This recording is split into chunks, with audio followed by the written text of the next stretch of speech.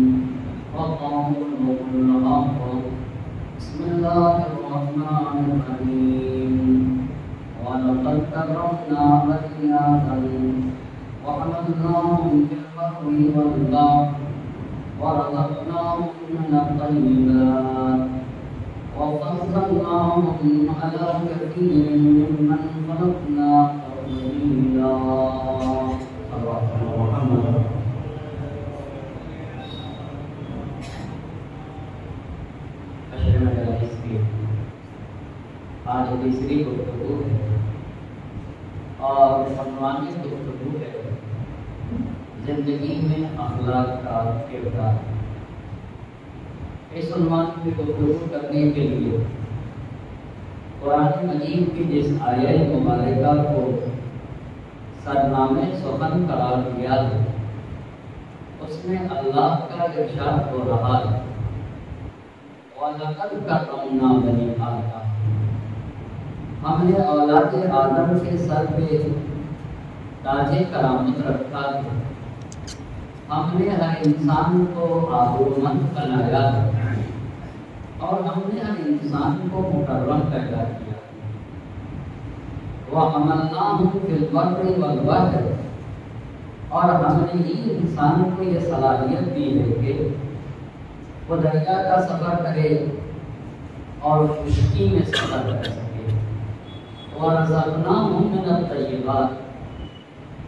और हमने ही इंसान को पाको पाकीज़ा रिज़्क़ दिया वफ़ज़लनाहुम अला कसीर मिम्मन खलक़ना तफ़ज़ीला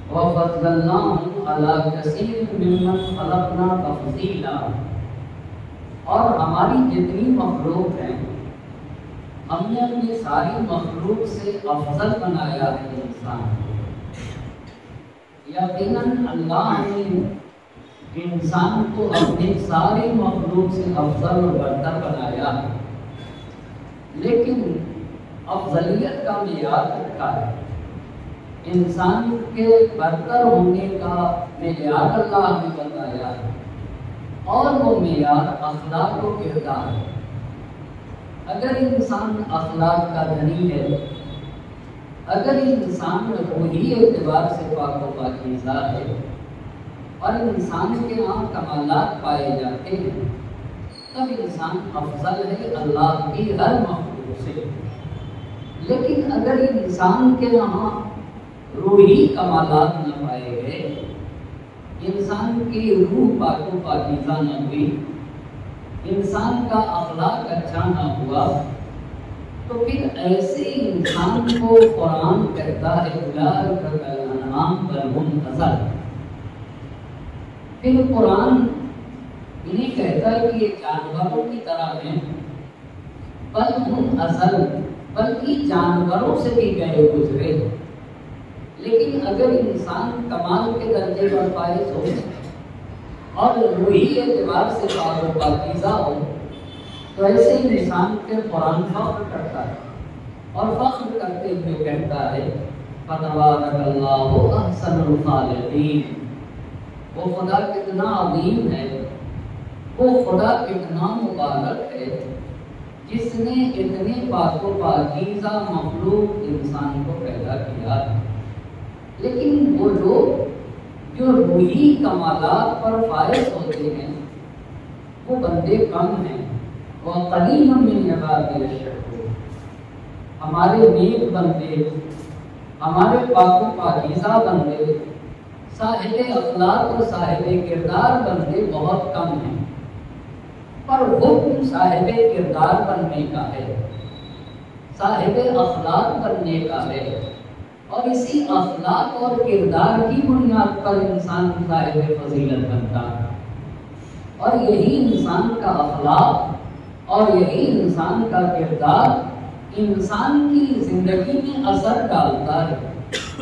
इंसान की ज़िंदगी में एक शय का नाम है रिस्क जिसे हम रिस्क और रोजी कहते हैं। यह हमारा अखलाक, हमारे रिस्क और रोजी में भी असर डालता है। इसीलिए गुजश्ता दो मजलिसों में ये बात कही कि अगर रिस्क में वसअत चाहते हो तो पहली बात ये कही कि अपनी फैमिली पे खर्च करो। अपनी फैमिली पे खर्च करो तो अल्लाह तुम्हें अपने बेपनाह रिस्क से माला माल कर देगा।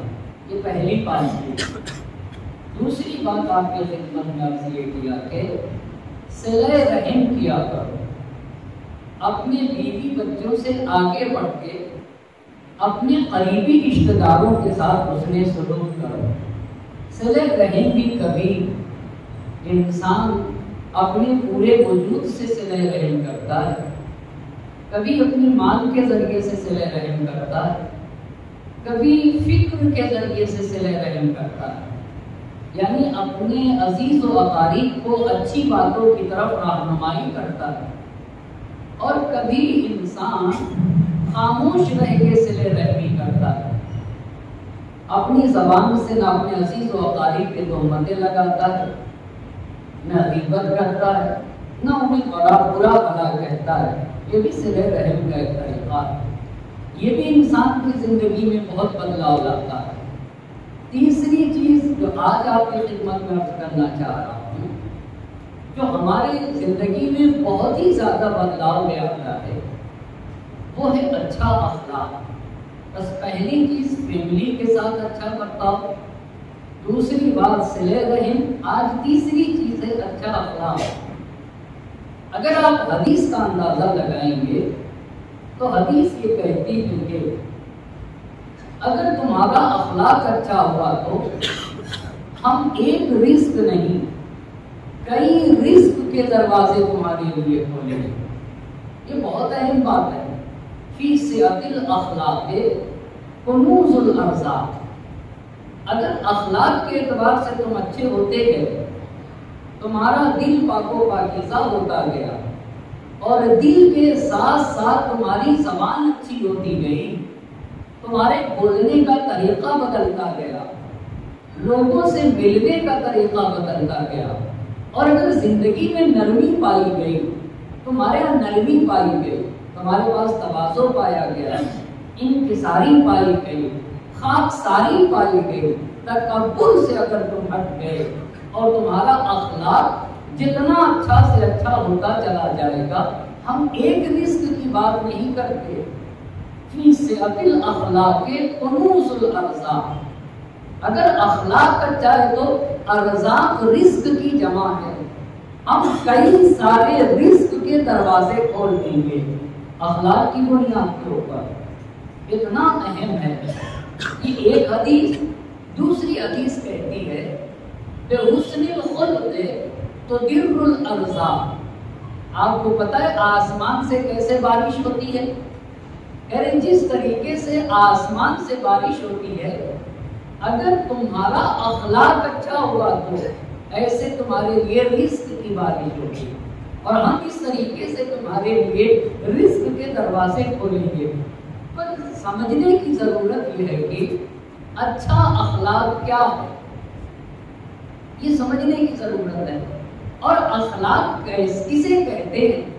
हमारे और आपके छठे इमाम इमाम जाफ़र सादिक सलाम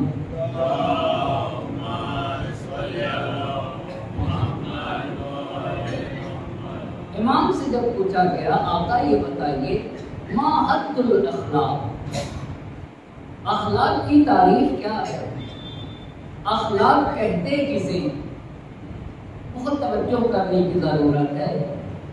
इस बात को अखलाक को बताने से पहले कुरान मजीद की इस आयत को पढ़ना चाहूँगा।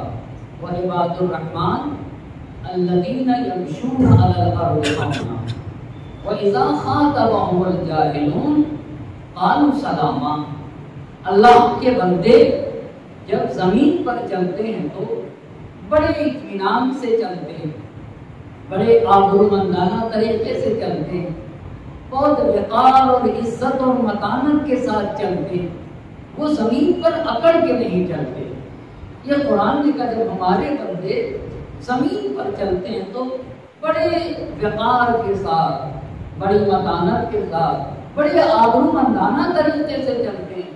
और जब समाज और माशरे के लिए अदब लोग में छेड़ते हैं जब बेअदब लोग छेड़ते हैं तो कानू सलामा वो उनसे मुँह नहीं लगते। जब हमारे नेक बंदे होते हैं, वो बेअदब लोगों से मुँह नहीं लगते। उन्हें सलामती की दुआ देकर आगे बढ़ जाते। क्योंकि नेक बंदे उस हद तक नहीं गिर सकते, जिस हद तक समाज और माशरे का एक बेअदब इंसान गिरता है। समाज और माशरे का बेअदब इंसान जिस हद तक उसकी जबान गंदी होती है, अल्लाह के नेक बंदे की जबान गंदी नहीं हो सकती। इसीलिए जब इमाम से पूछा गया, आका, अखलाक किसे कहते हैं? तो इमाम ने अखलाक में तीन बातें बताई। तीन बातें बता दी पहली चीज़, अलबत्ता अखलाक के बहुत सारे मरातब हैं। इमाम ने अखलाक का सबसे निचला दर्जा बताया। कहा जब पूछने वाले ने पूछा, आता ये बताइए, अखलाक किसे कहते तो इमाम ने पहली बात ये कही तो लीनो जानबत जब भी तुम ज़िंदगी ऐसे गुजारो कि तुम्हारे यहाँ नरमी पाई जाने चाहिए। तुम्हारे वजूद में अकड़ ना दूसरों के सामने तुम झुको। ये झुकना और दूसरों का एहतराम करना, दूसरों को अपने से बड़ा समझना, ये अखलाक की पहली शर्त है। ये अखलाक की पहली शर्त है। अब तुम अपने को दूसरे से बड़ा न समझो। और झुक के मिलो। दूसरे को अपने से बढ़कर समझो। दूसरे को अपने से अफसर समझो। ये पहली चीज़ है। हदीस पढ़ता हूँ ला तो हक अहदम मिनल मुस्लिमीन देखो, किसी एक को भी छोटा ना समझना। किसी एक को भी। इसलिए कि जिसे तुम छोटा समझते हो शायद अल्लाह के नज़दीक वही बड़ा शायद अल्लाह के नज़दीक वही अजमतों का मालिक हो। कुछ चीज़ों को अल्लाह ने छुपा रखा है। उन्हीं में से जो अल्लाह के हकीकी बंदे होते हैं, जिन्हें वली खुदा कहा जाता है, ये भी रिवायत में है कि अल्लाह अपने हकीकी बंदों को हम ही लोगों में छुपाए रहता है, जो वली खुदा होते हैं। जो दोस्त खुदा होते हैं, उन्हें छुपाए होता है। इसीलिए हदीस कहती है कि किसी एक को भी छोटा ना समझो। जिसे तुम छोटा समझते हो, शायद वही अल्लाह के नज़दीक अजमतों का मालिक हो। एक इंसान एक इंसान के पास पहनने को कपड़े नहीं है। ठीक है, उसके पास पहनने को कपड़े नहीं है, पर उसका अखलाक अच्छा है। उसका किरदार अच्छा है। उसकी रूह पाको पाकिजा है। वो उनसे बहुत अच्छा है कि जो कपड़े अच्छे पहनते हैं, पर रूह के गंदे होते हैं। उनसे बहुत अच्छा है। इस इंसान के पास हाँ पहनने को कपड़े नहीं, रहने को घर नहीं, पैसे नहीं, पर रूप का धनी इंसान है। अखलाक का अच्छा इंसान है। किरदार का अच्छा इंसान है। मेरे नबी के लिए बस पहली बात इमाम ने क्या इर्शाद फरमाई? इमाम ने ये बताया कि झुक के मिला करो दूसरों से। दूसरे को अपने से बढ़कर समझो। तुम तबासो करो। हदीस भी है, हदीस में यह कि अगर जो इंसान अपने को, अपने मकाम से नीचा रखेगा, अल्लाह उसको उसके मकाम से बहुत ज़्यादा बुलंद करेगा। और अगर कोई अपने को अपनी हैसियत से ऊपर दिखाएगा तो अल्लाह उसे बहुत नीचा रखेगा ये इज़्ज़त और जिल्लत खुदाई शरीफ के हाथ में है।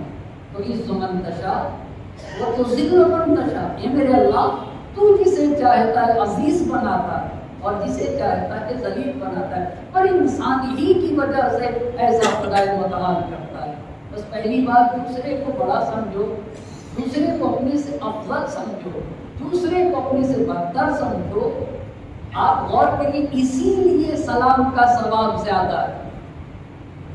इसीलिए सलाम का सवाब ज़्यादा है, क्योंकि तुमने पहल किया है। क्योंकि तुमने ये कहा है कि मुझे सलाम करना होगा, तुमने इकदाम किया है, तुमने पहल किया, इसीलिए सलाम का सवाब ज़्यादा है। नबी गिरामी के अखलाक की जब बात थी, आप गौर करें, अल्लाह के नबी ने ये बात कही कि हदीस मेरे नबी की इन्नमा बोइस्तो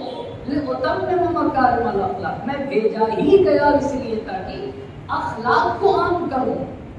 लोगों के एक दूसरे से मिलने के तरीके को बदल दूँ। लोगों की जबान को बदल दूँ। लोगों के अंदाजे कलाम को मैं बदलना चाहता हूँ। मैं लोगों के रहन सहन को बदलना चाहता हूँ। आपको पता है, हमारे नबी हज़रत मोहम्मद मुस्तफ़ा सल्लल्लाहु अलैहि वसल्लम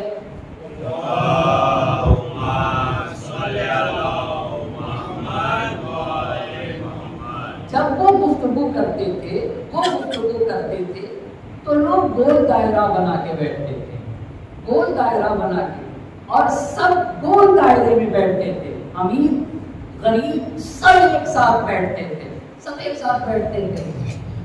पर नबी के जमाने में भी थे ऐसे लोग जो कपड़े सफ़ेद पहनते थे और रूह के गंदे थे। सब गोल दायरा बनाए हुए बैठे थे।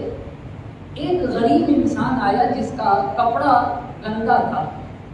जब वो आज उस दायरे में बैठा है, बात इस पे अर्ज़ कर रहा हूँ कि अपने को दूसरे से कमतर समझना चाहिए। तवाजो करो, दूसरे को अफसर समझो।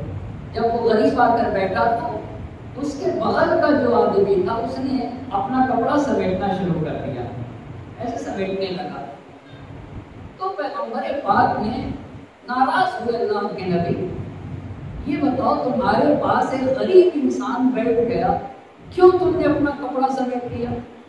क्या उसकी गुर्बत तेरी तरफ़ चली गई या तेरा पैसा उसके पास चला गया? तो फ़ौरन नबी से माफ़ी मांगने लगता है वो इंसान।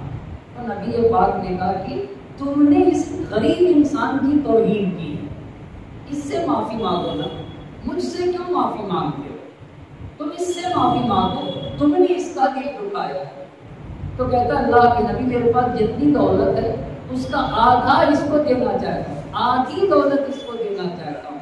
नबी ने कहा, इसका दिल दुखाया है। अगर ये तुम्हारी दौलत कबूल करे तो इसे दे दो। तो उस गरीब से कहता है कि क्या तुम आधी दौलत लोगे, मुझे माफ़ कर दोगे। तो उसने कहा मुझे पैसे नहीं चाहिए नबी ने पूछा, क्यों तुम्हें पैसे नहीं चाहिए अल्लाह के नबी, मैं डरता हूँ कि पैसे आ जाने के बाद कहीं मैं भी ऐसा ही ना हो आप गौर कर रहे हैं? तो मुझे वो दौलत चाहिए ही नहीं जो मुझे बदअखलाक बना दे। वो मुझे दौलत चाहिए ही नहीं जो मेरे पाकिजा किरदार को गंदा कर दे। वो दौलत किस काम की?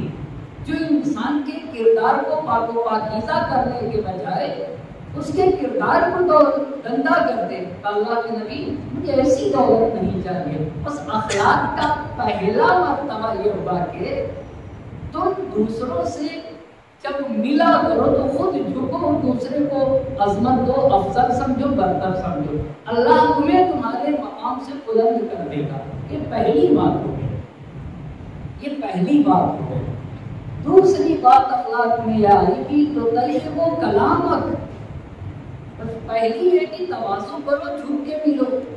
दूसरी बात यह है कि तो वो कलाम देखो बोलने के तरीके को बदलो। बोलने के ये अखलाक में आता है। आप जरा तवज्जो करें, जो लोग बिज़नेस करते हैं और जो लोग मार्केटिंग का काम करते हैं, उन्हें बाकायदा सिखाया जाता है, बोलने का तरीका बताया जाता है कि किस तरीके से किस सामान को आपको बेचना है, आप बात कैसे करेंगे कस्टमर से? ये दुनिया में आज इल्म है। ये दुनिया में सिखाया जाता है कि आपको अगर कोई भी सामान बेचना है तो आप कस्टमर से कैसे बात करेंगे? इसी को तो अखलाक कहा जाता है। कि आपको अगर ज़िंदगी जीना है तो आपके बोलने का तरीका क्या होना चाहिए? कैसे आप बात करें समाज और माशरे में अपने माँ बाप से बस पहली बात अखलाक में जो हुई कि सबको बरतर समझो, खुद को दूसरों से नीचा समझो। दूसरी बात ये हुई कि प्यार से बोलो तो तय वो कलाम आकर गुफ्तगु का तरीका बदल दो अपने अंदाजे गुफ्तगु किसके साथ? किसके साथ अंदाजे गुफ्तगु को बदलो अपने घर में, अपनी फैमिली के साथ, अपने बच्चों के साथ। कुछ लोग बगैर गाली दिए जबान के ऊपर गाली जारी किए हुए कलाम ही नहीं करते। बगैर गाली कुछ लोगों की जबान निहायत गंदी है साफ़ ही नहीं। कुछ लोग कसम खाया करते, चाहे झूठी कसम कसम खाते रहते। तो अखलाक का दूसरा तरीका यह है कि, दूसरा तरीका यह है कि अपनी जबान को अच्छा करो। आपको एक बात बताऊँ? बाज लोग ऐसे, सब कुछ उनका अच्छा होता है, सब कुछ अच्छा होता है। नमाज़, रोजा, हज, जक़ात, सब कुछ अच्छा। पर जबान के बड़े खराब होते हैं ऐसे लोग। मैं लखनऊ में था और वहाँ के ऊपर एक खातून का फ़ोन आया। उन्होंने कहा, सोलह साल अपने शौहर के साथ रह चुकी हूँ और अब मैं तिलाक लेना चाहती हूँ। क्यों तिलाक लेना चाहती? तो उन्होंने कहा कि मेरे शौहर में सब अच्छाइयाँ पाई जाती हैं। सब अच्छाइयाँ पाई जाती हैं। मैंने कहा, आप अपने शौहर के इतनी तारीफें कर रही फिर भी कहला कहा जी सारी अच्छाइयाँ हैं। पर जबान के गंदे, बल्कि उन्होंने मिसाल जो दी, वो मिसाल अर्ज़ रहा हूँ ऐसे समझ लीजिए कि दूध हो और बहुत माजरत के साथ, दूध में पेशाब का एक कतरा हो, कैसा होगा?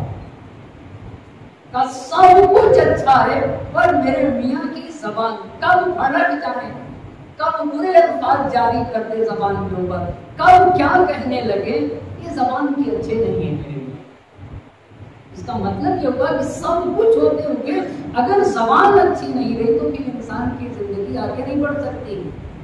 इंसान की ज़िंदगी। और कितनी मशहूर ये रिवायत है कि शख्स ने नबी पाक से कहा कि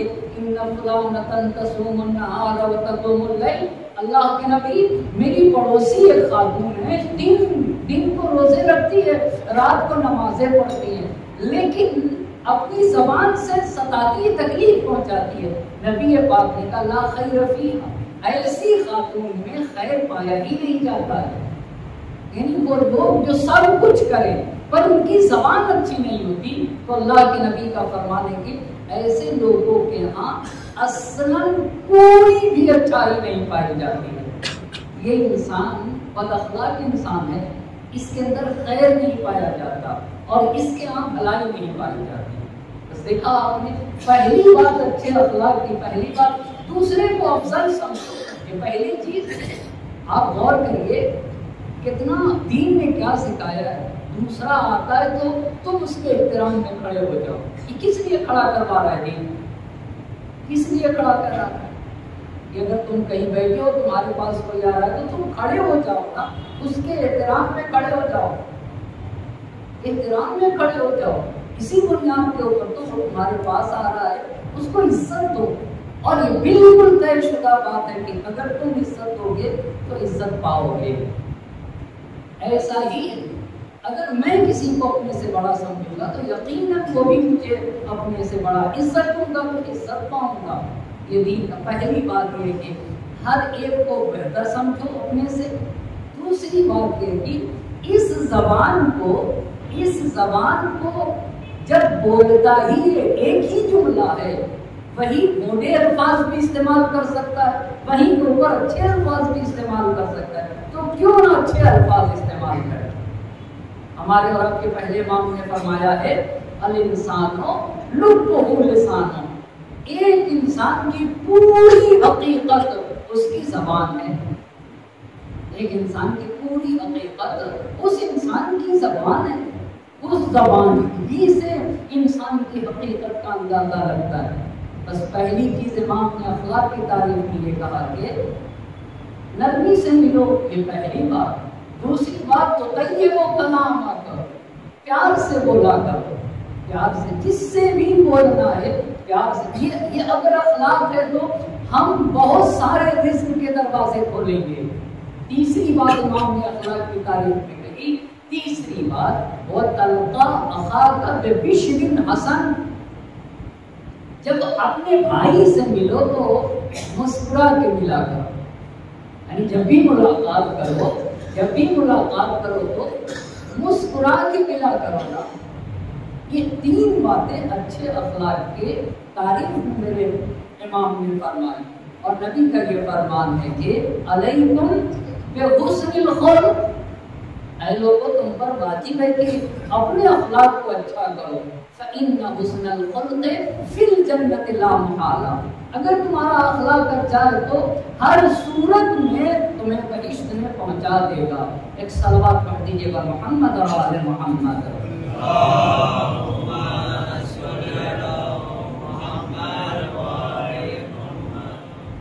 इसका मतलब ये है कि जबान का भी बहुत अहम रोल है। तीन बातें मामले अखलाक की तारीफ़ में अब तक तीन चीज़ें आपके खिदमत में अर्ज़ कर चुका। पहली चीज़ फैमिली पे खर्च करो। अल्लाह हदीस के दरवाजे खोलेगा फैमिली से मुराद बीवी बच्चे अपने अपने बीवी बच्चों पे। दूसरी बात तो सिले रहम करो। दायरा बढ़ गया। दायरा बढ़ गया। अपने घर घराने, खानदान और करीबी रिश्तेदारों पे खर्च करो। तीसरी बात तो अखलाक को अच्छा करो। अखलाक को अच्छा करो। अल्लाह तुम्हारे लिए एक नहीं, कई रिस्क के दरवाजे खोल देगा। अखलाक में भी तीन बातें हो गई। पहली चीज़, हर एक को अपने से अफसर समझो, झुक के मिलो उससे नरमी के साथ मिलो। गुरूर तकबर अकड़ को निकाल दो पहली बात। दूसरी बात, प्यार से बोलो। जबान पे गंदे अल्फाज न ले आओ। और तीसरी बात ये हो गई कि मिलो तो मुस्कुरा के मिलो। भाई से जब मिलो तो उसे ये ना हो एहसास हो कि ये बोझ समझ रहा है मेरे मिलने को कभी कभी किसी के दरवाजे के ऊपर जाएँगे और वो तरह दरवाज़ा खोलता है तो मुस्कुरा दे अगर जरा सा मुस्कुरा दे तो आने वाले को सुकून होता है कि भाई मेरे आने से ये परेशान नहीं हुआ। होगा या नहीं होगा? आप बताएँ, आप मेरे घर पे आए और मैं दरवाज़ा खोलूं, आप सलाम करें और रूखे अंदाज में सलाम का जवाब दें। एक मतलब बिल्कुल रूखे अंदाज में, और एक मरतबा नहीं मुस्कुराता हुआ हाथ फैला के गले से लगा तो आंधी तशरीफ़ ले आएगी कहाँ थे, कैसे थे? तो क्या दोनों अमल में फ़र्क नहीं दिखेगा? ज़मीन से आसमान तक फ़र्क दिखेगा? ये तीन बातें, चौथी बात चौथी बात। आप देखेंगे सारा अखलाक सब हमारी ज़िंदगी को बना रहा है। चौथी बात, हदीस कहती है कि चौथी चीज़ सदक़े की बात है। सदक़े की बात है। हदीस में आता हदीस ये है कि सदका दो और सदके के ज़रिए से रिस्क तलब करो। मगर हदीस ने ये नहीं बताया किस चीज़ का सदका दो सदका? इस पे भी बहुत गौर करिएगा। का रिस्क को नाजिल करो। सदका दे करके। आप ये देखिए, जरा सा थोड़ा सा तवज्जो करिए इस हदीस के ऊपर। पहले दीजिए, फिर हम रिस्क देंगे। हदीस क्या कह रही है? सदका दो तो हम रिस्क देंगे। यानी पाने के लिए देना शर्त है। पाने के लिए हम मखलूक को दे और हमें कौन देगा? हमें कौन देगा? हमें हमारा खालिक देगा। बस पहली बात हदीस ये कह रही है कि इस्तंजिलुर रिस्क बिस सदका ये जो रिस्क है ना, इसे नासिल करो, हासिल करो सदका दे करके। लेकिन अभी भी हदीस ने ये नहीं बताया किस चीज़ का सदका दे करके। ये एक बात दूसरी हदीस अर्ज़ करता हूँ, हदीस ये कहती है कि जब तुम रिस्क के एतबार से परेशान हुआ करो और माली मुश्किलात में गिरा करो घिर जाया करो माली मुश्किलात और माली परेशानी में गिर जाओ। फताजरुल्लाह सदका। तो तुम अल्लाह से तिजारत करो। आप तवज्जो करिएगा। अगर माली मुश्किल ज़िंदगी में आती है तो किससे तिजारत करो? अल्लाह से तिजारत करो। तो अल्लाह से तिजारत काहे से करोगे? काहे के ज़रिए से अल्लाह से? फताजरुल्लाह सदका। सदका दो और सदका दे करके किससे तिजारत करो? किससे तिजारत करो? जी। किससे तिजारत करो? अल्लाह से तजारत करो, अल्लाह से तिजारत करो। यानी मैं सदका दूँ और तिजारत किससे कर रहा हूँ? अल्लाह से कर रहा हूँ। ये दो बातें कही। पहली हदीस पर चौथा रास्ता रिस्क के वसी होने का चौथा रास्ता। पहला रास्ता क्या हुआ? अपनी फैमिली पे खर्च करो ये पहला रास्ता हुआ। दूसरा रास्ता सिले रहम करो होगी बात यहाँ तक। तीसरा रास्ता, अपने अंदर बदलाव ले आओ। अपने अखलाक को अच्छा करो। अपने अखलाक में भी अपने को नर्म करो। दूसरों के सामने झुकना सीखो। ये पहली बात। जबान को अच्छे करो। दूसरी बात मुस्कुरा के मिलना सीखो। मुस्कुराना सीखो। मुस्कुराना बहुत बड़ी तोफीक है। मुस्कुराना भी। बहुत बड़ी तोफीक है, हर को नसीब नहीं होती है। समझे नहीं समझे आप? हर को नसीब नहीं होती है। चौथी बात, सदका दो। पर सदका काहे का दिया जाए, अभी हदीस ने नहीं बताया।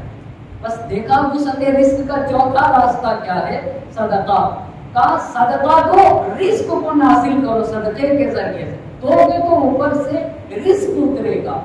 ये पहली बात। दूसरी हदीस कहती है कि, इजा अमलकतुन फताजिरुल्लाह सदका जब मुश्किल में गिरफ़्तार हुआ करो, माली मुश्किलात में गिर जाओ तो अल्लाह से तिजारत करो सदके के ज़रिए से। हमारे छठे इमाम कहते हैं कि कभी कभी मेरे यहाँ भी माली मुश्किल आ जाती है। इमाम की हदीस ये है। मेरे पास भी माली मुश्किल आ जाती है। तो इमाम, आप क्या करते हैं अगर आपके साथ माली मुश्किल आती है? तो इमाम ने कहा तो मैं फिर अल्लाह से तजारत करता हूँ। किसी और से तजारत नहीं करता हूँ। अल्लाह से मामला करता हूँ। अल्लाह से कैसे इंसान मामला करेगा? कहा, उसके बंदों का ख्याल करो। बंदों का ख्याल करना, गोया अल्लाह से मामला करना। किससे मामला करना है। अल्लाह से मामला करना है। इतनी जब बात आपको बता दी, पर सदके ने ये नहीं बताया कि किस चीज़ का सदका दिया जाए। ये तो कि सदका दो तो रिस्क बढ़ता है। सदका दे करके अल्लाह से तजारत किया करो। और इमाम ने भी कहा जब मैं भी माली मुश्किल में गिरता हूँ तो अल्लाह के साथ मामला करता हूँ, सदका दे के और हमारे छठे इमाम, मैं भी बताता हूँ, किस तरीके से सदका दिया जाए। सदका कैसे दिया जाए? और कितनी तरह से दिया जाए? फिर इमाम ने, छठे इमाम ने अपने बेटे से कहा कि, बेटे, ये बताओ, घर में कितना पैसा है? तो इमाम के फर्जंद ने पाँचवें इमाम के अलावा दूसरे फर्जंद इमाम के फर्जंद में, इमाम के फर्जंद का चालीस दीनार दीनार सोने के सिक्के को कहते हैं। दीनार सोने के सिक्के को कहते हैं। तो जब इमाम के बेटे ने कहा, चालीस दीनार घर में तो इमाम ने कहा, सदका दे दो। सारा चालीस का चालीस दीनार किसी को दे दो। तो इमाम के फर्जन ने कहा, इतना ही है हमारे पास। इसके अलावा दूसरा पैसा नहीं है। इमाम ने कहा तसदक देगा। सब के सबको सदका दो। अल्लाह उसकी जगह को भरेगा। ये जो तुम दोगे, ये खाली नहीं रहेगा। अल्लाह उसकी जगह को भरेगा। अमा अलिम था क्या तुम्हें नहीं पता? हर चीज़ की एक चाबी होती है। क्या तुम नहीं जानते हो? हर चीज़ की एक चाबी होती है। वो मिफ्ताहुर सदका। और रिस्क की चाबी ये है कि सदका दिया जाए। लेकिन एक आपसे एक बात कहना चाहूँगा। कुछ लोग करोड़पति होते हैं, सदका दो रुपया देते हैं। ये कौन सा सदका होगा? ये कैसा सदका होगा? भाई साहब, आप करोड़पति और दो रुपया सदका देंगे। मज़ाक उड़ा रहे हो खुदा का। है अरबपति और करोड़पति। साहब जैसी हैसियत वैसा सदका होगा। थोड़ी हुआ कि आप किसी की आयादत करने गए, कोई मरीज़ है, उसकी आयादत करने कोई करोड़पति गया, दस रुपये उसके सिराने रख के चला आया। तो ही हो ना। ये तो ही हो ये आपने क्या किया? ये आपने क्या किया? अल्लाह ने आपको इतना नवाजा था, आप करोड़पति और आप दस रुपये सदका देंगे। आप एक रुपया सदका देंगे। आप किसी गरीब मरीज़ की आयादत करने को गए और उसके सिराने दस रुपये रख कर आएँगे। ये तो सदका ना हुआ।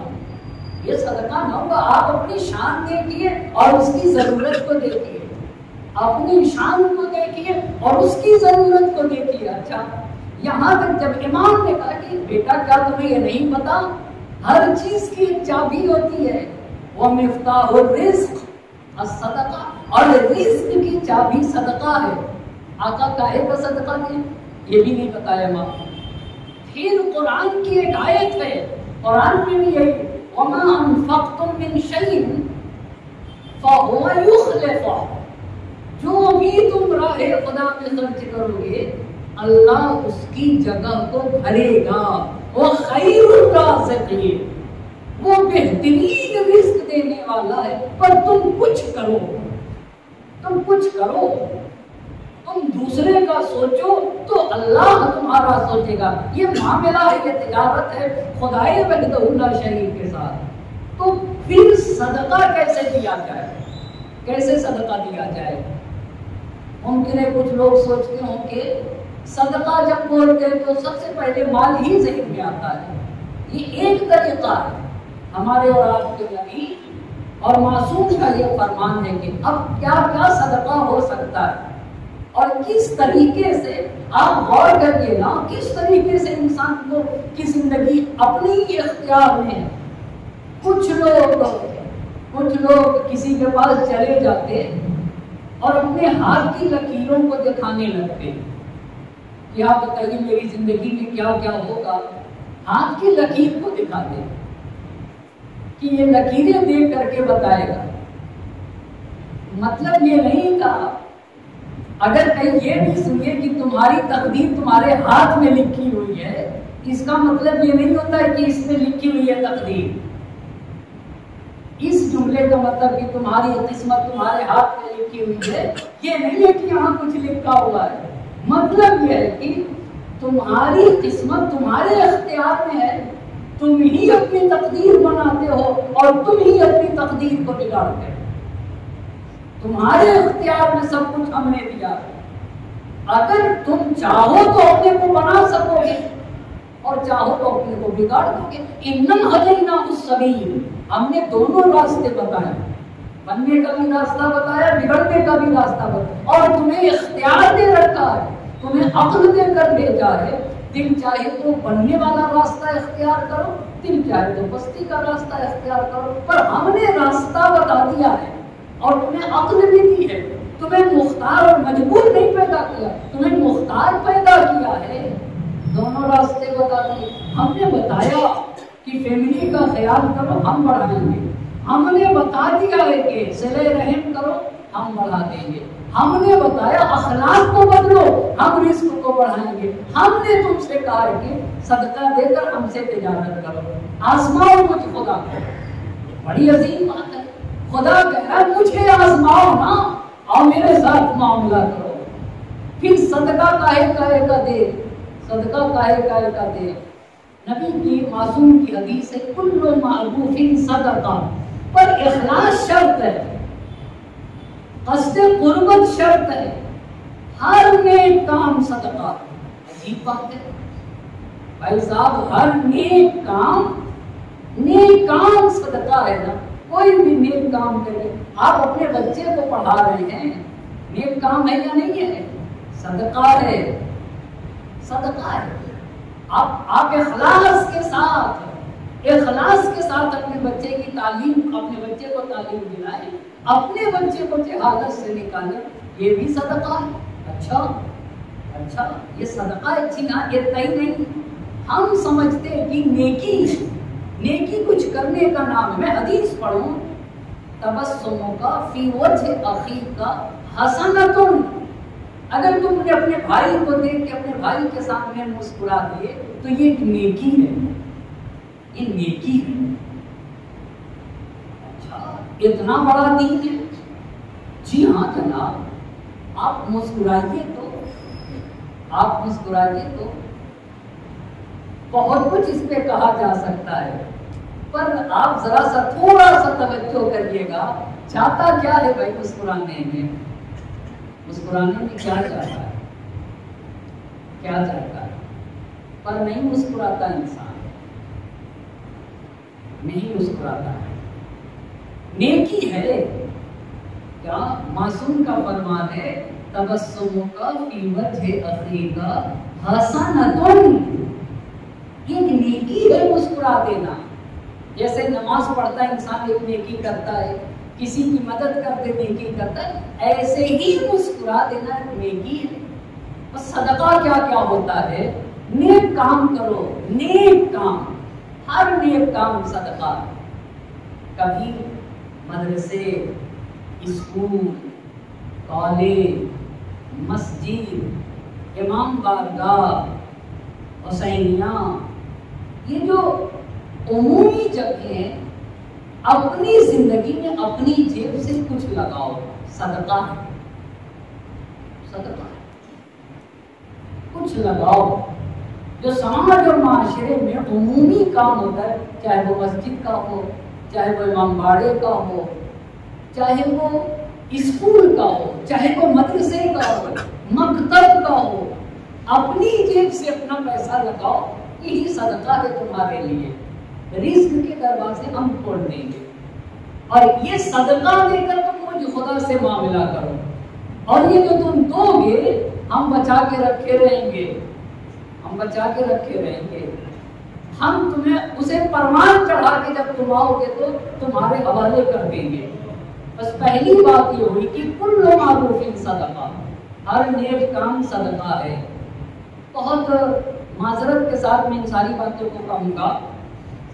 हमारे समाज और माशरे में एक बहुत बड़ी मुश्किल ये हर जगह की है। आपके यहाँ मुझे नहीं पता, पर ये हर जगह की है कि एक छोटा सा मकतब भी सही तरीके से हम नहीं चला पाते। स्कूल और कॉलेज की बात तो बहुत दूर की है। एक मकतब नहीं बना पाते अच्छा जिसमें हमारे बच्चे कुरान पढ़ते जिसमें हमारे बच्चे दुनिया सीखते जिसमें हमारे बच्चे मज़हब और दीन को सीखते हैं। आपसे पूछना चाहूँगा, सबसे अच्छी किताब क्या है? आप बताइए। सबसे अच्छी किताब कौन सी किताब है? कुरान है ना? तो उस किताब को पढ़ने के लिए सबसे अच्छी जगह चाहिए या नहीं चाहिए? जी। कुरान को पढ़ने के लिए सबसे अच्छी जगह चाहिए या नहीं चाहिए? तो वहाँ क्यों टाट बोरिए पे बच्चे पढ़ते हैं?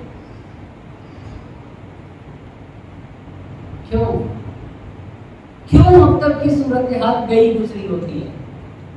जीन से बड़ी कोई चीज़ नहीं, पर जब दीन दीनी दर्शगाहों को देखिए तो टूटी टूटी नज़र आती है, जबकि दीनी दर्शगाहें सबसे अच्छी होना चाहिए।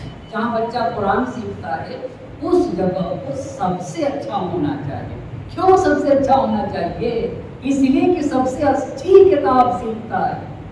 कुल्लो मारूफ सदका हम मकतब को बना दिया जाए। हर नेक काम सदका सदका देकर खुदा से मामला कर एक बात हो गई फिर नबी ने कहा अल कलिमत तय्यबा सदका। प्यार से बोलो सदका। देख रहे हैं आप बात? आप प्यार से बोलो सदका। आगे की हदीस में इमाम ने कहा, अम्र कबिल मारूफ सदका। अगर तुमने कुछ सीखा है तो दूसरे को बता दो ना। दूसरे को अच्छी बातें बताओ। ये सदका है समाज और माशरे में लड़ाने वाले तो मिल जाते हैं और मिलाने वाले नहीं मिलते। जो इख्तलाफ को खत्म करने की कोशिश करें। जो समाज और माशरे से दूरियों को, तफरीके को मिटा दे, देखने को नहीं मिलते भाई साहब। देखने को नहीं मिलते, पर लड़ाने वाले लोग, लड़ाने वाले लोग। का हर नेक काम सदका है। बच्चे को पढ़ाओ सदका है अपने बच्चे को जहाज़ से निकालो। स्कूल बनाओ, कॉलेज बनाओ, यूनिवर्सिटी बनाओ, बच्चों को डॉक्टर्स बनाइए, इंजीनियर्स बनाइए, आईएएस बनाइए, कमाल तक पहुंचाइए। ये सब का सब सदका है। सब का सब सदका है। प्यार से बोलिए, हर एक से प्यार से बोलिए। ये ये जो फैमिलियाँ आज टूट रही है, उसमें जबान का बहुत बड़ा दखल है। बहुत बड़ा दखल है। बहुत बड़ा दखल है। खासतौर से घर के अंदर अपनी जबान को चेंज कर देना कुछ दिन तजुर्बा किया जाए जबान को बदल करके कुछ दिन तजुर्बा किया जाए ज़िंदगी बदलती है कि नहीं? अमरों बिल मारूफ सदका। नेक बात अच्छी बातें लोगों को बताओ सदका नहीं का अनिल मन करे सदका। समाज और माशरे में अगर बुराई है तो, तो अदब के साथ उसको बुराई से रोको लेकिन अब जानते समाज माशरा कहाँ तक पहुँच गया आप किसी को बताने चाहिए तो कहेगा कि तुमसे क्या मतलब क्यों नहीं मतलब है भाई साहब क्यों नहीं मतलब है? पर हाँ बताने वाले को सलीका चाहिए। आपको पता है, बाहर गंदा होगा तो मेरा घर भी गंदा हो जाएगा। क्यों भाई साहब? आप इंसाफ से बताइए, सिर्फ़ घर को साफ़ रखना कमाल नहीं है। मेरा घर साफ़ है, दरवाजे पे कीचड़ है। तो घर गंदा होगा या नहीं होगा? जी। अगर दरवाजे पे कीचड़ है और घर साफ़ है तो घर गंदा होगा या नहीं होगा? भाई, आप जब बाहर से आएँगे अंदर तो घर गंदा हो जाएगा। इसका मतलब है कि हमारा ही काम है घर को भी साफ़ रखा जाए और बाहर को भी साफ़ रखा जाए। इसीलिए अम्र बिल मारूफ और नहीं अनिल मुनकर की बात की जाती है। सारा समाज को अच्छा होना है। मुआशरे की हर फर्द को बेहतर बनाना है। कहा, देखा अपने प्यार से बोलो, नेक काम करो, सदका है। अम्र बिल मारूफ करो, सदका है। नहीं अनिल मुनकर करो, सदका है। अपने भाई को गाइड कर दो ना। तुम्हारे भाई के पास एक कौम के जवान, नौजवान के पास काम करने के लिए, उसके पास कोई काम नहीं है। उसे कोई काम नहीं दिख रहा है। तो तुम अपने भाई को एक काम बता दो। ये भी सदका ये भी सदका है।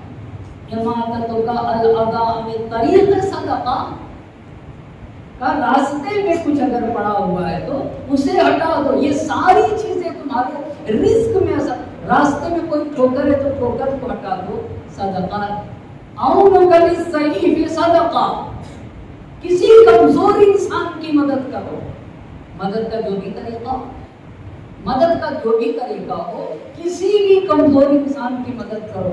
आपको पता है, हमारे और आपके तीसरे इमाम, हज़रत इमाम हुसैन सलाम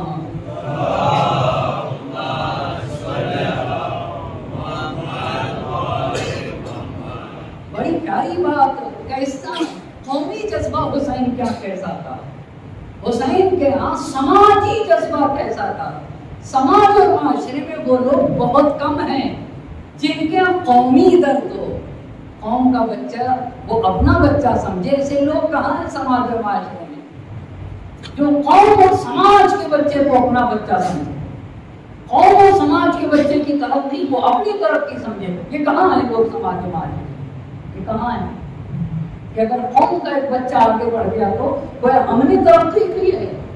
हमारे समाज की तरक्की हमारी तरक्की है। हमारी कौम की तरक्की हमारी तरक्की है। कहाँ है ऐसे लोग? मगर हुसैन क्या कैसी कौमी कौमी जज्बा पाया जाता था। हुसैन क्या बशरियत का दर्द कैसा था? बड़ी प्यारी बात जो उस्मलियाबादी ने कही है।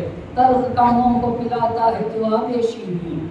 बख्शता है किसी मुस्तर को जो कैफियत उम्र भर खिदमत इंसान से जो थकता ही नहीं। उसकी सरकार में खुद अक्ष झुकाता है ज़मीन, अपने जानू पे जो दुखियों को सुला लेता है, उसको अल्लाह कलेजे से लगा लेता है। जिसकी हर सांस हो एक वलवले खैर अनाम नींद हो जिसकी गरीबों की मोहब्बत में हराम जा गए खिदमत इंसान पे हो जो गर्म सलाम उस उलूही बशरियत पे दरूद और सलाम। हाँ मिले और जो उलूहियत इंसान थे हुसैन हम उसी जा खिदमत में खरामात हुसैन काफिले धूप में जिस वक्त की चकराते थे, हाय क्या दिल था, उन्हें छाव में ले आते थे। दाग एहसान की मिलती थी तो शर्म आते थे। तशना लब देख के दुश्मन को तड़प जाते थे। आप जरा तवज्जो करें। दुश्मन अगर प्यासा था तो हुसैन को बर्दाश्त नहीं होता था। तशना लब देख के दुश्मन को तड़प जाते थे। दश्ते में आप में कौसर की रवानी थे हुसैन किश्ते इंसान पे बरसता हुआ पानी थे हुसैन जिसने इंसानियत को सैराब किया है, उसे हुसैन कहा जाता है। ऐसी बशरियत का जज्बा रखते थे हुसैन। हुसैन और इमाम कहते ही उसे हैं। इसीलिए माम अली मकाम को शहीद इंसानियत और मोहसिन इंसानियत कहा जाता है। नेक काम करो, ये सदका है। प्यार से बोलो, ये सदका है। मुस्कुराओ अपने घर वालों के साथ। और हर माशरे की हर फर्द से मुस्कुरा के मिलो, सदका है। अम्र बिल मारूफ, सदका है। नहीं मुनकर, सदका है। रास्ते से कोई ठोकर हटा दो, ये भी सदका है, ये भी सदका है। जब कोई तुमसे सलाम करे, सलाम का जवाब दो, ये भी सदका है। रक्त का सलाम सदका। सलाम का जवाब दो प्यार से, इखलास के साथ दो ये भी सदका का किसी कमज़ोर के लिए ज़िंदगी में सहारा बनो ये भी सदका वह तर्क शर्त सदका। ऐसे जियो, इसमें बहुत तवज्जो करने की ज़रूरत है। ऐसे जियो कि तुम्हारी जात से किसी को नुकसान न पहुँचे। क्या प्यारा दिन है?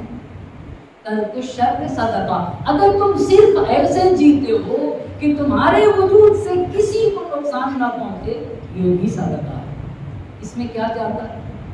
कुछ लोग अपने घर में शोर करते और जब पड़ोसी आके कहता है कि भाई, जरा आवाज़ धीरी करो तो तुमसे क्या मतलब अपने घर में कर रहा हूँ? अरे भाई साहब, आपका घर ठीक है, पर क्यों आपकी जात से दूसरे को नुकसान पहुँचे? क्यों आपकी जात से दूसरे को असियत मुमकिन है कोई बीमार मुमकिन है कोई सोना चाहता हो, और मैं अपने घर में शोर करूँ ऐसे जियो ऐसे जियो कि तुम्हारे वजूद से किसी को नुकसान न पहुँचे। आपसे एक सवाल करूँ? आप ये बताइए, मुसलमान किसे कहते हैं? मैं आपसे पूछना चाहता हूँ। अच्छा हम और आप मुसलमान हैं या नहीं? सवाल सच है क्या जी? मुसलमान है या नहीं है? जवाब तो आसान है सवाल चाहे सब तो? जी बिल्कुल मुसलमान है बिल्कुल सही फरमाया आपने। हम और आप मुसलमान हैं लेकिन मैं पूछना चाहता हूँ कि मुसलमान किसे कहते हैं? मुसलमान किसे कहते हैं? बताओ बेटा मुसलमान किसे कहते हैं। बहुत अच्छी बात कही आपने। नबी ने ये नहीं कहा कि जो नमाज़ पढ़ता हो, जो रोजा रखता हो। मुसलमान की तारीफ़ में नबी ये बात ने फरमाया ही नहीं कि जो नमाज़ पढ़ता हो, जो रोजा रखता हो। नबी पाक ने डायरेक्ट ये फरमाया अल मुस्लिम मन सलम मुस्लिमूना मिन यदिही व लिसानी एक सच्चा मुसलमान तो वो है जिसकी न जबान से किसी को नुकसान पहुँचे, न हाथ से नुकसान पहुँचे। उसे मुसलमान कहा उसे मुसलमान कहा ऐसे जियो की तुम्हारी वजूद से किसी को नुकसान ना पहुँचे ये सदका। और उधर कह रहे कि सदका देकर अल्लाह से तिजारत करो। क्या देकर अल्लाह से? अब आया समझ में। ये सारे सदते हैं। जबान सी सही करो, अल्लाह से तिजारत करो। मदरसा, स्कूल, कॉलेज बनाओ, अल्लाह से तिजारत करो। अमर बिल मारूफ करो, अल्लाह से तिजारत करो। अरे, तुम्हारी टंकी में पानी है, भाई की टंकी में पानी नहीं अपना पानी थोड़ा सा उधर दे दो ना। तुम्हारी जेब भरी है, भाई की जेब खाली है। अपनी जेब से थोड़ा सा दे दो, थोड़ा सा दे दो। हमारे जब इमाम आएँगे, जब महदवी समाज बनेगा, इलाही मुआशरा जब बनेगा, और किसी भी भाई को ज़रूरत होगी तो अपने दूसरे भाई की जेब से उतना ही निकालेगा। जितनी ज़रूरत होगी, इतना इंसाफ होगा। इतना क्या होगा? इंसाफ होगा। देखा आपने, मैंने चंद बातें आपकी खिदमत में की हैं। वो सब रिस्क अच्छी ज़िंदगी के लिए बड़ी अहम शय है। पर उसके लिए फैमिली पे खर्च करो, पहली बात। दूसरी बात सिले रहम करो, घर कराने। तीसरी बात अखलाक को अच्छा दो, करो। और चौथी बात, सदका दो। चौथी बात सदका दो पांचवी और आखिरी बात पांचवी और आखिरी बात कल इंशाअल्लाह, कल की गुफ्तगू करूँगा कि कुछ अखलाकी सिफात ये हैं कि जो हमारे गुनाहों को मिटा देते हैं, गुज़िश्ता गुनाहों को मिटा देते हैं और उसकी जगह अल्लाह नेकियाँ लिख देता है। अच्छा यानी अखलाक हमें ऐसे पाक बनाता है, जी हाँ अखलाक गुनाहों को मिटा के नेकियाँ लिख देता है। इसे कल पांचवी बात जो हमारे रिस्क में बहुत असरअंदाज होता है, वो ये कि अल्लाह से दुआ करते रहो। अल्लाह से क्या करो? दुआ करो। दुआ में भी पाँचवें माह में जैद शाम को ये बताया कि चाहते हो कि तुम्हारा रिस्क ज़्यादा हो। जैद शाम ने कहा था हाँ। का रास्ता क्या है इमाम ने कहा कि वाजिब नमाजों के सजदे में कहा करो, या खैर मसरूलीन व या खैर मुअतीन ऐ वो बेहतरीन साथ जिससे मांगा जा सकता है। आप जरा सा तवज्जो करें ना दुआ के फिक्रे के ऊपर। तू ही बेहतरीन साथ है। हम तुझी से मांग सकते हैं। वो या खैर मुअतीन देने वाले बहुत हैं, पर सबसे बेहतर देने वाली जात कौन है? कौन है बोलिए? खुदाए वहदहुल्ला शरीक की जात है। तू ही सबसे बेहतरीन अता करने वाला है। और तेरी ही वो जात है जो सबसे बेहतर है कि तुझसे मांगा जाए या खैरल मसदूरीन व या खैरल मुअतीन उरजुकनी वरजुक अयाली मिन फज़लिकल वासिल फइन्नका ज़ुल फज़लिल अज़ीम अच्छा दो चीज़ें मांग रहा है। मुझे भी रिस्क दे और मेरे अहलो अयाल को भी रिस्क दे। और कहाँ से दे? कहाँ से दे? मिन फजल कल से ये अल्लाह तेरे पास रिस्क का जो खजाना है, वो अनलिमिटेड है। वो कम नहीं होने वाला है। अपने अनलिमिटेड रिस्क के खजाने से मुझे दे दे। और मेरे अहलो को दे दे। तेरा फजल है। और तू साहिब फजल है। तू साहिब और कुरान की आयत मिन अल्लाह का जो फजल है ना, फजल यानी वही अनलिमिटेड रिस्क अल्लाह के फजल को अल्लाह से मांगा करो। बस ये मेरे पाँचवें मांग ने कहा कि वाजिब नमाजों के सजदे में, यानी नमाज़ वाजिब पढ़ने के बाद सजदे में सजदे में जाके, या वाजिब नमाजों के सजदे में भी आखिरी सजदा है। या मसमूलीन व या खैरल मुअतीन उरज़ुकनी वरज़ुक अयाल मिन फज़लिकल वासिअ फइन्नका ज़ुल फज़लिल अज़ीम ये एक बात दूसरी रिवायत दर्ज करूँ और अपने मसाइल देकर जहमत को तमाम करूँगा पर मिलजुल कर पर अजमत मोहम्मद और आले मोहम्मद अलैहि वसल्लम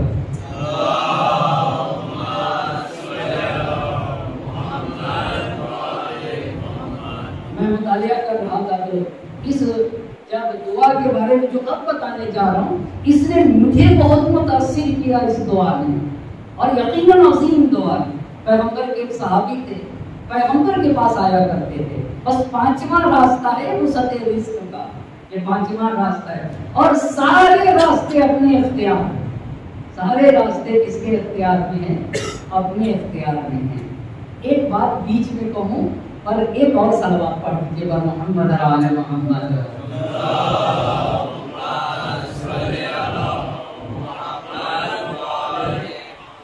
ये बताइए फैमिली को खुश रखना आसान काम है या सख्त काम है?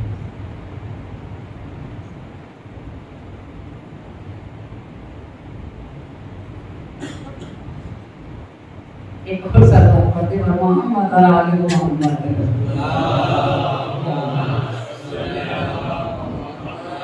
अब मैं तो ये नहीं बताऊँगा कि आसान है या सख्त है पर इतना ज़रूर बताऊँगा कि बहुत साहिब हुनर है वो इंसान और साहिब फजीलत है वो इंसान जो अपनी फैमिली को खुश रखे ये बहुत बड़ा कमाल है। और फिर बहुत कुछ उसे मिल जाएगा। फिर उसे बहुत कुछ मिल जाएगा। काम इतना आसान नहीं है। ये काम इतना आसान नहीं है, पर है ये काम बहुत फजल और शरफ और कमाल का, कि अपनी फैमिली को इंसान खुश हो ताकि मालिक उससे खुश हो मालिक उससे खुश हो मेरी फैमिली खुशगवार नबी के सहाबी नबी के पास आते थे, और कुछ दिन हुआ आदि नहीं रहे। नबी ने पूछा कि मेरे फला साहबी क्यों नहीं आते? अब एक दिन जब आए तो नबी ने पूछा कि तुम कुछ दिनों से आ नहीं रहे थे? बात क्या? अल्लाह के नबी बीमार हो गया था और माली मुश्किल में गिरफ़्तार हो गया था। इन दो बात की वजह से मैं आपके पास नहीं आता था। तो नबी पाक ने कहा कि, क्या नहीं चाहते कि एक ऐसी दुआ बता दो कि तुम्हारी बीमारी भी दूर हो जाए और तुम्हारी फक्र और गुर्बत और माली मुश्किल माली परेशानी भी दूर हो जाए। नबी बता तो नबी पाक ने कहा ये दुआ बता करो खुदा के सिवा कोई ताकत और कोई कुवत नहीं। सारी कुदरत खुदा के हाथ में है। वह तवक्कल तो मैं तो उस ज़ात के ऊपर भरोसा करता हूँ जिसे कभी मौत आने वाली है वल्हम्दुलिल्लाहि लम यत्तखिज़ साहिबतन वला वलदा तारीफ़ है उस खुदा के लिए जिसकी ना कोई बीवी है और नहीं बच्चे। वलम यकुन लहु शरीकुन फिल मुल्क, जिसकी हुकूमत में कोई शरीक नहीं। वलम यकुन लहु वलियुन मिन अल-ज़ुल्म व कब्बिरहु तकबीरा सलावत पढ़े व मोहम्मद वाले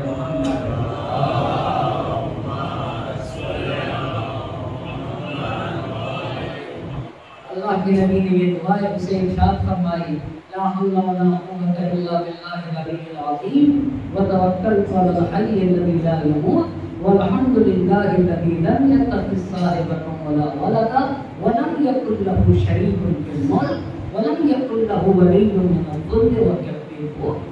तकबीरा और गया वो इस पे अमल करने लगा और अमल करके जब आया दुआ का मतलब ये नहीं कि सिर्फ दुआ करता रहे और काम ना करे मतलब ये नहीं होता है।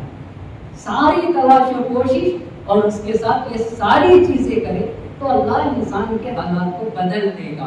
ये कुरान की सुन्नत है। अगर तुम अपने को नहीं बदलोगे तो हम नहीं बदलेंगे। कुछ दिन के बाद आया, नबी के पास मुस्कुराता हुआ, अल्लाह के नबी, उस दुआ की बरकत से मेरी बीमारी भी दूर हो गई और मेरे फख्र, मेरी गुर्बत और मेरी न्याजमंदी भी बरकरार हो गई।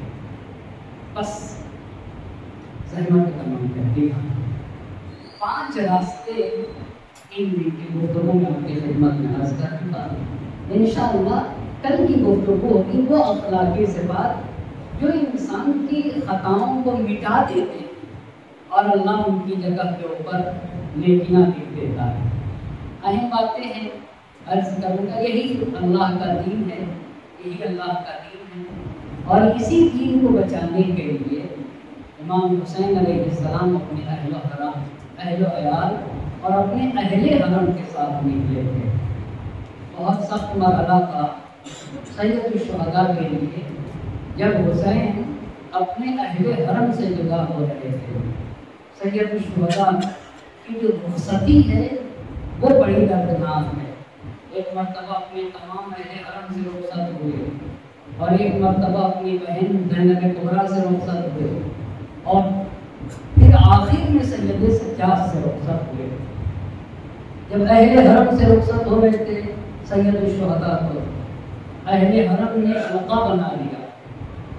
और हल्के में लेकर सैयद शुहदा तो जब हल्के में लिया तो इमाम अली मकाम के लिए कहा कि सकीना रुबा रुकैयो में कुछ हमारी और तुम्हारी आखिरी मुलाकात। ये कहना था कि बीवियों में कुरान बर्बाद अब जब बीवियों में कुरान बचा तो सैयद शुहदा अपने आँसू को रोक ना सके। इमाम हुसैन सलाम दाद दाद रोने लगे। तो शहजादियों ने पूछा कि आपके रोने का क्या सबब है? हुसैन ने कहा, मैं अपने लिए नहीं रो रहा मैं तुम लोगों के लिए रो रहा हूँ। मैं देख रहा हूँ कि अनकरीब तुम्हें असीर कर लिया जाएगा। अनकरीब तुम्हें गिरफ़्तार कर लिया जाएगा अहले हरम से रुखसत होने के बाद जैनब या मकाम से रुखसत हुए। मगर जैनब से जो जुमले कहे सैयद शुहदा ने वो यही कहा, या उस्ता दो बातें अपनी बहन से कही थी। या उस्ता ला तंसई की सलातिल लैल। ऐ मेरी बहन जैनब, जब नमाज़ शब के लिए खड़ी होना हो, मुझे नमाज़ शब में न भूलना। कितनी कितनी साहिब कमाल बहन थी कि मान मासूम अपनी बहन से कह रहे थे कि मुझे नमाज़ शब में ना भूलना। और दूसरी बात से विश्वासा ने जैनब से कही कि एक ही सो बिनती है तो मेरी बहन मेरा पुराना से करा गया हो। मुझे मालूम है मेरी शहादत के बाद मेरा लिबास छीन लिया जाएगा। सैनब में नहीं चाहता, मेरी शहादत के बाद मेरा लिबास छीन लिया जाए। सैनम रस गई अपने माजाए का पुराना लिबास लेकर आ गई हुसैन के लिबास को जगह जगह से पारा कर दिया। पारा करने के बाद से दर्द कर लिया और उसके बाद जब हुसैन में जान में जाने लगे तो सैलम ने कहा मालन मालन यारी ए भैया सड़क पे जाओ। सैलम खींची करके देखना चाहती है। अजरकुम अल्लाह एक मरतबा हुसैन, आगे बढ़े। आगे बढ़ने के बाद सैनब के बाजुओं का बोझा मेरा। सैनब ने पूछ लिया, मेरे माँ का है मेरे बाजुओं का बोझा क्यों लिया? हुसैन ने कहा मेरी शहादत के बाद इन्हीं बाजुओं में रसलबाजी जाएगी अरे एक मर्तबा चले ने अपने माँ जाए के गले का पोसा लिया।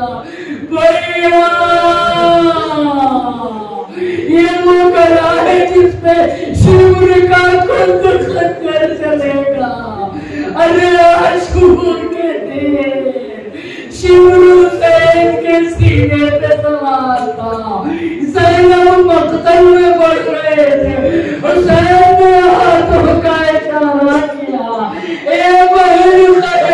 Lepada sedang Kamu saya mengerti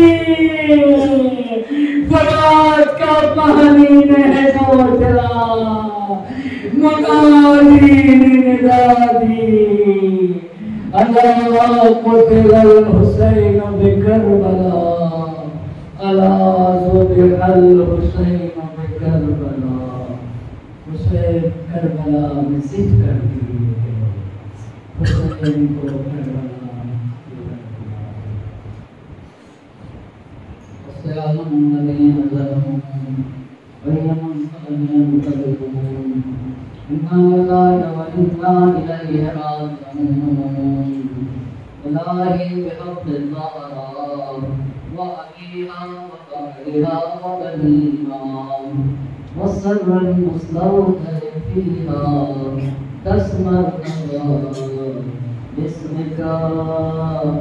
ya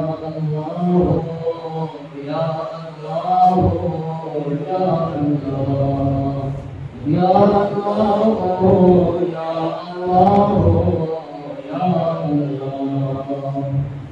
Ya Allah, Ya Allah, Ya Allah, Ya Allah. Maafkan asmaul husna wa हमारे इस मुख्तसर से इबादत को शरफ कबूलियत अता हमारे मासूमों को हमारे सामान में जगह में नाजिल फरमा।